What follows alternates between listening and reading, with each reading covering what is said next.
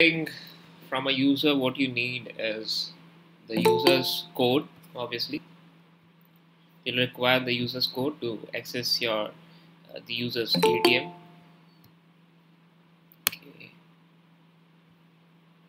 all right next is like uh, now what here it is in the project what I'm showing you here is without uh, CSV data or you can say without an Excel data kind of like no database is there okay? So just one user is there he is entering something and using some if and else we are considering the project okay? So account number I have given like one two three four five six seven okay? Account holder name is your Jack. And then in the machine what it is being given like swipe your card okay? So you get to swipe it. Now then you take the input like input enter your pin code right? As soon now it depends on you like you want to enter something else uh, you want to make choices first and then entering the pins okay? So I'm taking like pin codes as the first one. So integer input of the pin codes for the user will be giving and it should match the pin code of the user okay?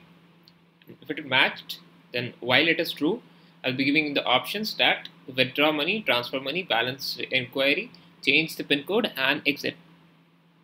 Okay, and see uh, how exactly it is there. Like uh, you would be given three chances, or you can take even two chances, three, uh, whatever as required for you. Okay, so keep it like two to three would be good, right? So choice would be from among one to five. So enter your choice would be giving it.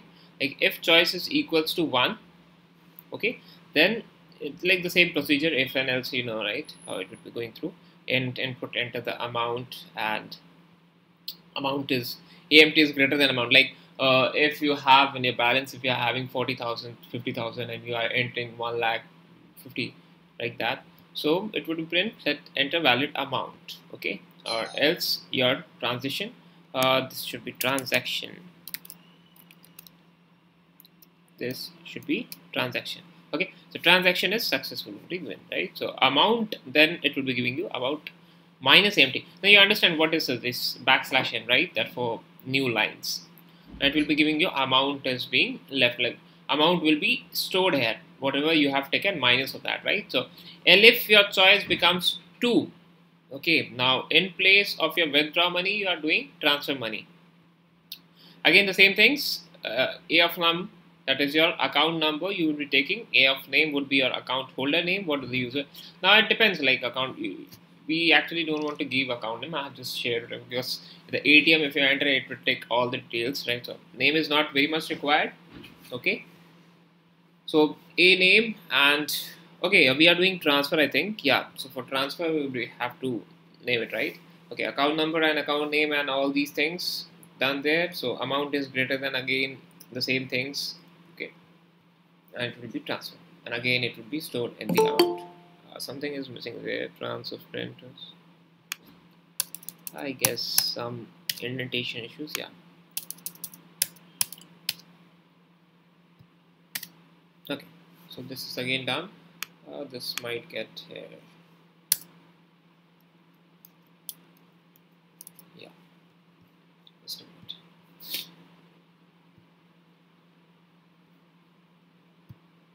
Okay so elif choice becomes 3 you have to print n. Total number present is then your amount. Like if you want to query of your amount you have to do query okay? Then reset pin would be giving you enter your pin code reset pin code pin code and then all the things okay? And this becomes else else exit. And this is your things okay? Clear right exit you need to just go out else do nothing or you can give your exit function if you have made exit function. Okay apart from this all what you would be giving like pin code chances would be three. Chances in the sense like if pin code becomes false while it if it is false don't just exit give another chance. Right that you can give it.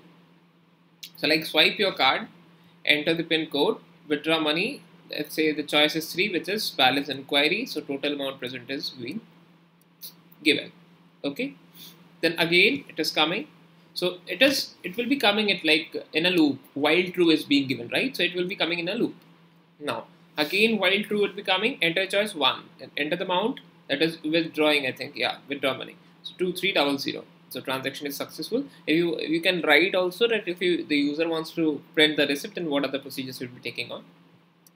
Okay. Uh, next is like again see enter the amount and if I enter something greater than this because I think we had entered 10,000 something in the amount. Yeah 10,000 and we are entering around 12 lakhs. Oh just a minute. No more than that. One crore is there I think. Yeah. Three. Yeah. So that is exceeded right? So it will be giving you valid amount. Again enter 2 let us transfer money. Yeah need to transfer to Jack and amount to transfer is 2300 and this is successful. So rest things you can make it. So don't make it as simple as project right? What i have shown you for a sample one don't make it as simple as this okay? Do some changes over there okay? So this could be your atm ones right? So it is easy and pin code got changed successfully. Thank you for counting and all these things okay? Uh, coming back to here in the net banking. Now if you want to make project on net banking and ATM combined one. Okay. So for combined if you are trying to make it so there you have to take some uh, data sets. I think I have shared you data set. If not then again I'll share you bank details CSV I think this is in your drive. Okay. So this data set is having see account numbers it is having PIN it is having name the branch branch number phone number email ID age address and balances. Okay so this is having 30 I guess. 29 0 to 29 yeah 30 okay? So all things are there. Okay the name unique attribute. Now you'll be making you have to write up these things right? If you are taking a data set then you have to first write what is your first column okay? Or you can say the customer name. So these are your customer names and then first five records last five records. You don't need to mention last also. First would be better. Okay? Then you need to count what is the length of the df that is your 30 or you can write in case of this you can uh, also write df dot the size. Now don't write size would be giving you bad answer. You write shape okay? So shape of the things you'll be getting 30 cross something around the columns 1 2 3 4 5 6 7 8 9 and 10 10 columns are there. So 30 cross 10 you'll be getting if you write size you'll be getting 300 that will be problem. Then a login page for the net banking, creating a list to store a particular attribute value for converting it into lowercase. Okay. Alright. So you'll be taking name here as a list, account as a list, pin as a list, and name whatever would be entered would be df dot name dot str dot lower. Now what do you understand with this? Df dot name. What does this mean? That this is your df this is your df right? This is the data frame. Name is this one right? So df dot name is basically you are accessing some names from here. Any name could be there right? So df dot name right? Let's say us3 is there right? So df dot name is us3 okay? And then us3 dot str making it into a string and then converting it into lower for caseless comparisons or you can use case fold basically instead of all these. An account number also you need to match it okay? So if the user is entering his name or her name so account number should also match and pin should also match with that reference okay? The type you can check on. So making a recursive function to input the username and check if the entry is present data is correct or not okay so c is equals to 0 name is being given enter your name again lower f equals false. Then you are making a loop over there that it is being present okay? If it is true and then breaking out okay? And if it is true then you print name validated and this all and return c. C is basically your i okay? That is your range and you can print it again okay? Then you store the things. Again you are making an account function and you are doing the same things right? Going inside don't make it such a complex one okay? This is a complex one basically. You go with the simplest things right? Because uh, you don't need to go with very large things in pandas okay? This was the program of uh, data science student i guess.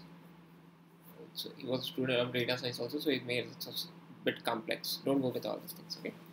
You make simple things but use data frames and use this logic. Don't go for iloc and all using the loops. Loops are not required basically from here. Okay, and then all these things. I'm just showing you the output what you'll be getting it so that you could have a uh, you know, like clear perception that what exactly you have to do in your project, right? So uh, this could be there. Uh, just a minute. Output is being generated for the capture Just a minute. Uh, yeah, it's fine. So see, enter your name is being and name validated, then giving some spaces over there, then again account number, account number validated, a pin there, phone number, and can proceed to the next step. Okay, and OTP has been sent to your things, and OTP you know how to send it very easy. I've discussed in the first class, I think, second or yeah, first class. So this is your uh, mobile. This is the OTP again. You receive the OTP. Like if you gives an incorrect OTP it would be time lapse and need to log in again. Okay? And if everything are correct OTP is also correct. Access granted then the features what you would be giving to the user after access is granted.